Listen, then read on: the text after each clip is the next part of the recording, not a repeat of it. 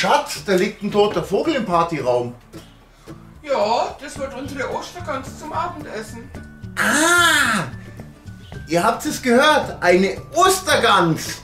Ja, so heißt das heutige Video. Und wie gesagt, Abendessen, wir haben es jetzt gerade Mittag. Und wir sehen uns dann später.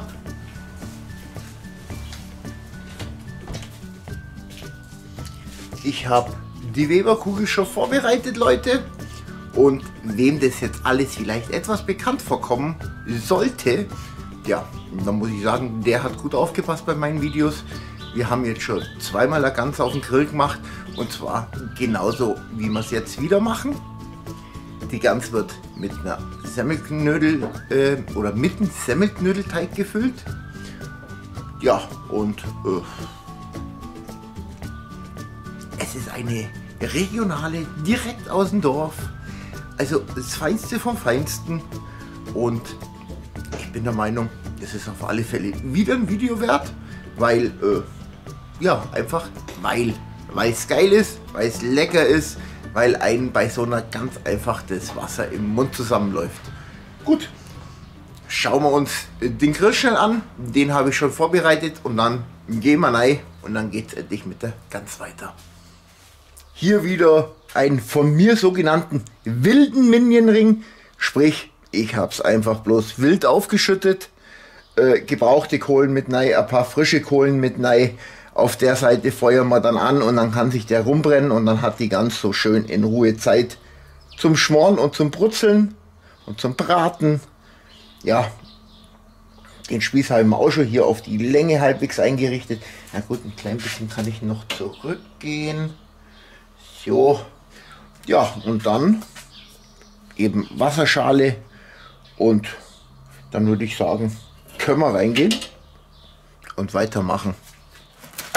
Hey Schatzi, was machst du da? Semmel schneiden für das Innenleben der Gans und jetzt ist ganz schnell gegangen.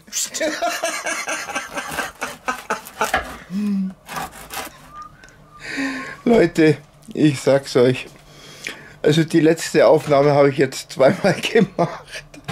Beim ersten Mal hat Schatzi ewig nicht geantwortet und dann hatte ich gesagt, das muss schneller gehen. ja, und dann ist das dabei rausgekommen, was ihr gerade gesehen habt. ja, okay. Schatzi bereitet jetzt die Semmelknödelfüllung vor. Ich filme vielleicht ab und zu noch mit drauf, dass ihr auch mitkriegt und seht, wie die genau gemacht wird. Ja, und dann werden wir auch schon die Gans würzen und füllen. Mit SPP. Mhm. Salz, Pfeffer, Paprika. Mehr nicht. Das richtige Handtuch habe ich auch dazu gefunden, um das schön abzudecken. Also hier drin dürfen jetzt die Semmeln erst einmal mit ein bisschen warmer Milch schön aufweichen. Und da drüben geht es mit der Gans weiter. Gib deinem Essen keinen Namen, aber in dem Falle ist es ganz einfach Gustav. Tja, und Gustav wird jetzt erst einmal um seine Flügel beraubt.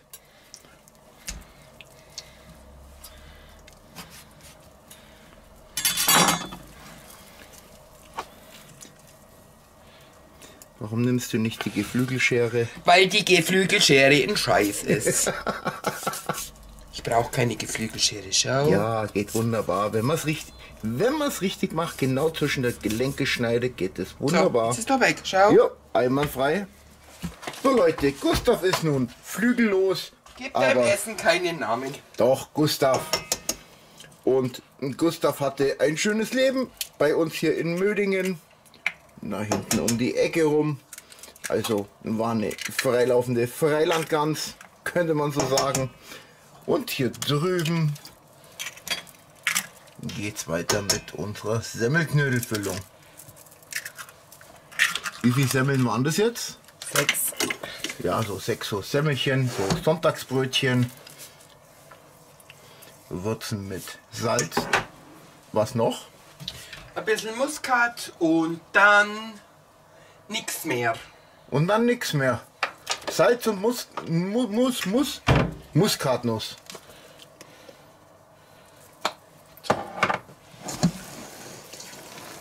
Gut. Tja, jetzt wird Gustav noch schön eingepudert mit Salz, Pfeffer und Paprika. Schön ordentlich, wie sich's gehört. Innen wird das Vieh auch noch ausgepudert. Ja, komm, heben. Ja. Ach so, jetzt kommt die Füllung.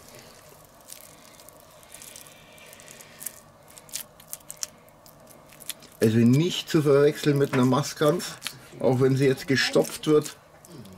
Ich wurde vorne gestopft und nicht hinter. so Witzbold.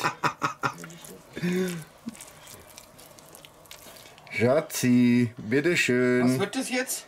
Heute bist du dran zum Zunähen. Ich kann das doch nicht. Du, du kannst ganz gut Geht es unter der Nähmaschine? Ein paar gekonnte Stiche wird Gustav zugenäht. Einfarbe, einfadig oder zweifädig? Ich hätte zwei äh, mit zwei Fäden gemacht.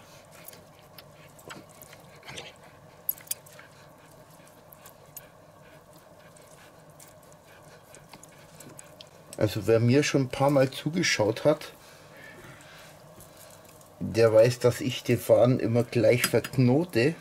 Und jetzt bin ich mal gespannt, wie Schatz das macht. Aber zuerst sagen, sie kann das nicht. Das hat ja bestimmt irgendeinen Grund. Ja, weil wenn man so viel kann, muss man so viel tun.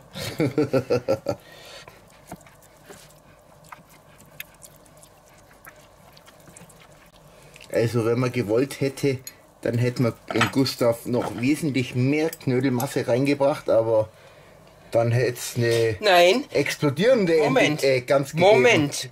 Ähm, da sind vier Eier drin. Ja, ich sag ja, dann hätte es eine explodierende Gans gegeben. Also ich vermute mal, dass am Ende, wenn wir Gustav dann aufschneiden, richtig schöne gefüllt ist. Abschneiden bitte. Hier. Erstmal Schere wiederfinden. Hier hab ich gesagt.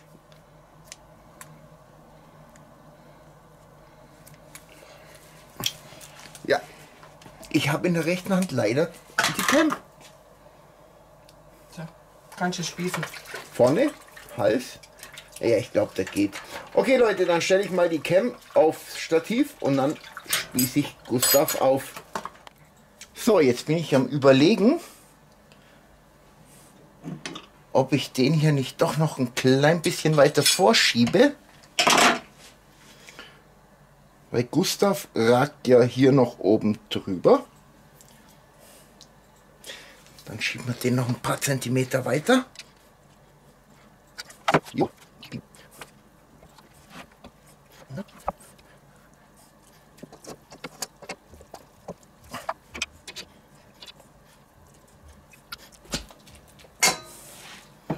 Ah, das war fast zu viel. Noch ein bisschen zurück. Wir sind ja flexibel.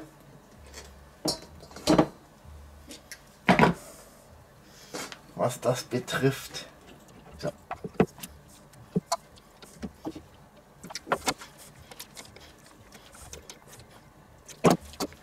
Ja, Leute, dann kriegt Gustav eine Freifahrt im Karussell. Geh mal aus, geh mal aus. Damit Gustav nicht erfrieren muss, werden wir hier jetzt natürlich unseren wilden Mini, Min, Minion, Minion Ring entfachen. Das sind übrigens äh, alles Klaus Grillkohlen. Nur mal so kurz äh, Produktplatzierung aus Überzeugung. also ich finde sie gut, ich bin zufrieden. Ich kann sie weiterempfehlen. Also wir können hier jetzt schon gleich ein bisschen weiter rüber gehen. Das ist jetzt gar kein Thema. Aber eben nicht gleich von, von Anfang an die volle Glut.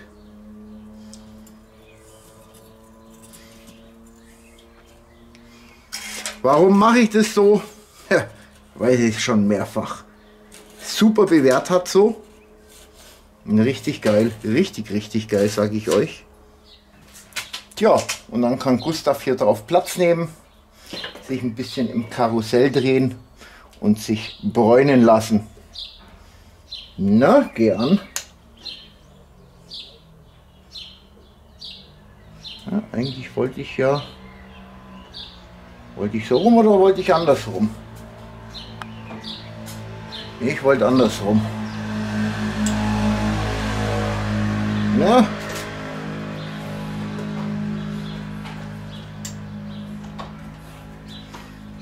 Wunderbar. Einmal kurz beobachten, wie sich dreht. Dabei das Gewicht ein bisschen nachstellen. Ja, einen ganz einen kleinen Stopp haben wir drin, aber so lassen wir Gustav jetzt weiter drehen und ja, einfach mal grillen.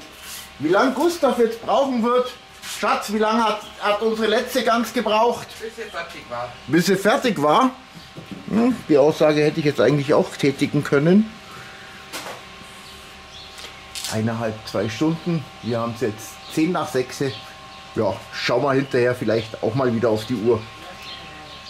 10 Minuten, die Temperaturen steigen und ja, Gustav dreht sich.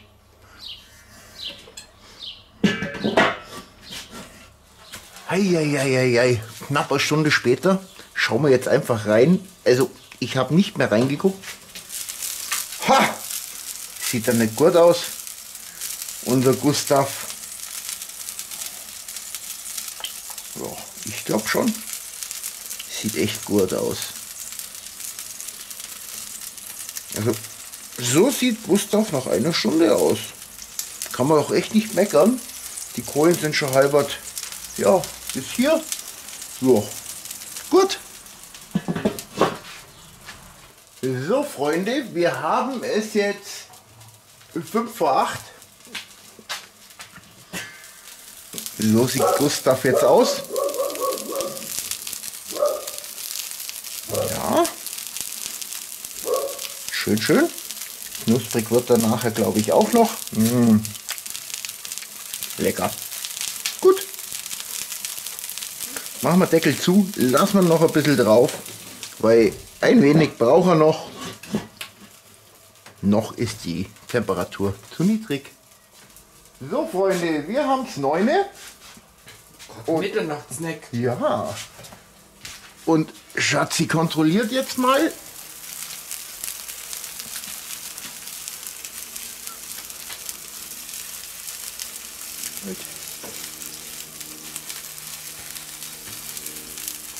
Oh, ich würde mal sagen, das ist gut. Das ist gut.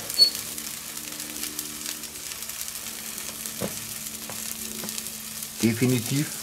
Die ganze ist fertig. Wir werden sie gleich vom Grill runterholen. Ja. Ja, ist fertig. Ist Gustav fertig? Das heißt nicht Gustav. Gib Das dem ist- Essen keinen Namen. Das ist Gustav. Gleich, gleich holen wir ihn runter. Gleich, gleich, gleich. Freunde, runter mit der Sau, äh, mit Gustav.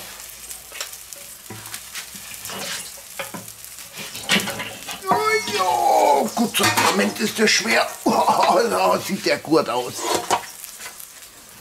So, Freunde, aber drinnen darf ich jetzt den Namen Gustav leider nicht mehr verwenden, weil Patricia ja auch mitessen soll. Und wenn da ein Viecher einen Namen hat, dann isst die uns nichts. Aber egal, wir gehen jetzt rein zum Essen. Ich habe das Gansel jetzt schon mal dahergestellt. So, jetzt werden wir das hier erst einmal von den Spießen befreien.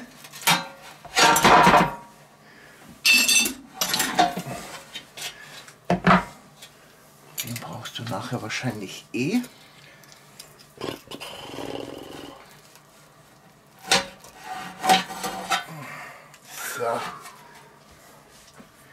Und Schatzi wird uns den jetzt dann gleich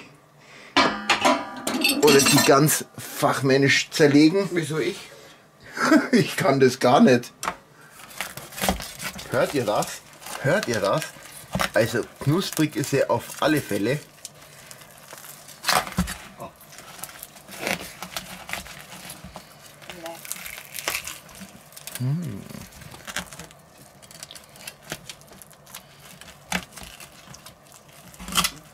Halt, ich brauche die Platte. Neu. Lass mal Schatzi zerlegen, bevor sie uns hier nervös wird und mir die Keule um die Ohren haut. Wir werden es nachher dann angucken, wie das Ganze ausschaut. Keulen und Flügel sind schon weg. Da haben wir noch lecker Süßchen und Blaukraut. Rotkohl. Rotkohl heißt Das ist Blaukraut bei uns. Ja, aber nur bei euch. Immer die Ostfriesen hier. Und Stückchen für Stückchen zerlegt Schatzi die ganz doch, doch ganz fachmännisch. Sieht doch gut aus. Und ich klaue mir hier jetzt gleich mal ein Stückchen für ein Probiererle. Genau die Ecke hier.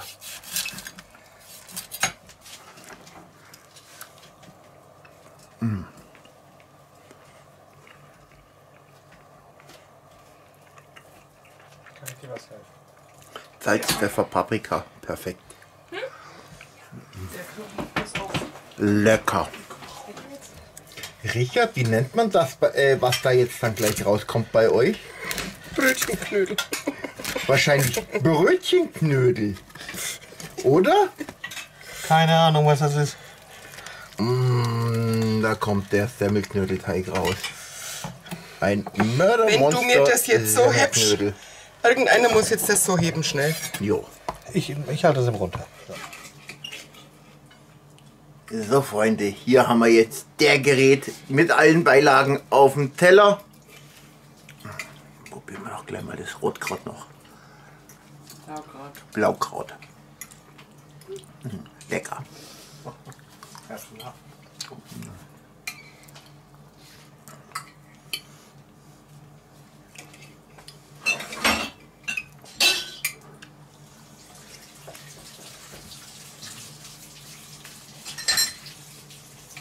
Ich genieße jetzt. Puh, nach so einem geilen, leckeren Mahl direkt aufzuspringen fürs Fazit wäre eine schändliche Tat. Nein, ich bleib hier jetzt sitzen.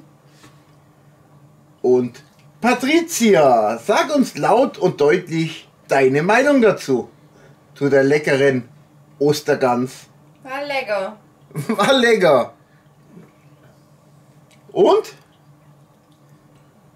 Richtig gut, richtig perfekt. Ist halt der Gans. Normalerweise esse ich keine Gans oder Ente. Ja. Schatz, wie hat dir Gustav geschmeckt? Gib dein Essen keinen Namen. Aber lecker war War er. sehr gut. Ja. Ja. Frau Kruse, Ja, es war sehr lecker. Aber Ich bin auch nicht so ein Gans-Fan. Ne, aber ich, ich habe es gegessen und ich fand's gut. na also, der Herr Kruse. Es war sehr lecker. Und wir rollen dich nachher raus. Und jede weitere Gans, die ich nochmal kriegen werde, muss ich mit dieser Gans messen. Der Knödelteig ist nicht meins. Was? Nein. Ja, Wird es auch nie werden. Egal ob Brötchen oder Semmel. Ich mag aber zu Hause auch nicht. ist halt, ist, ist, sind halt aus Friesen. Da können wir nichts dafür hier. Ne, wir gucken uns Tubbel, ne? Ja. Oh. Was für Dinger? Kartoffel. Kartoffel. Kartoffel. Ich wollte es gerade Also reine Kartoffelfresser. Habe ich auch gerne, aber in dem Falle gehören gescheite Semmelknödel und ein Blaukraut dazu. Gegen Kartoffelknödel hätte ich auch nichts gehabt. Also, Essen sehr lecker, wunderbar. Richtige Kartoffel. Klar, äh, ihr habt nicht die Möglichkeit, so eine echte Mödinger Gans zu ergattern. Aber wenn ihr eine andere Gans macht, ganz einfach SPP, Salz, Pfeffer, Paprika, einen gescheiten Semmelknödelteig rein und im Grill kann ich bloß empfehlen, nicht auf beiden Seiten Kohlen reinzutun, sondern immer nur auf einer Seite. Auch bei Hähnchen. Immer nur auf einer Seite den Kohlenkorb. Warum? Habt ihr schon mal an Hähnchenwagen, wo es eigentlich die geilsten Hähnchen auch mitgibt, gesehen, wo von beiden Seiten die Hähnchen befeuert wurden? Nein, immer nur von einer Seite. Sprich, Flamme, leicht abkühlen, Flamme. Und genauso mache ich das auf dem Grill. Gut. Ich hoffe, euch hat das Video wieder äh, gefallen. Auch wenn es jetzt schon das dritte Mal nicht ganz am Spieß war. In derselben Prozedur. Aber ich finde, das ist jedes Mal ein Video wert. Weil es einfach zu lecker ist. Und es kommen ja auch jedes Mal andere Sprüche von uns. Und jede ganz ist anders. Tja, das war's mit dem Video. Gustav, die Ostergans. Leute, wir sehen uns. Tschaikowski.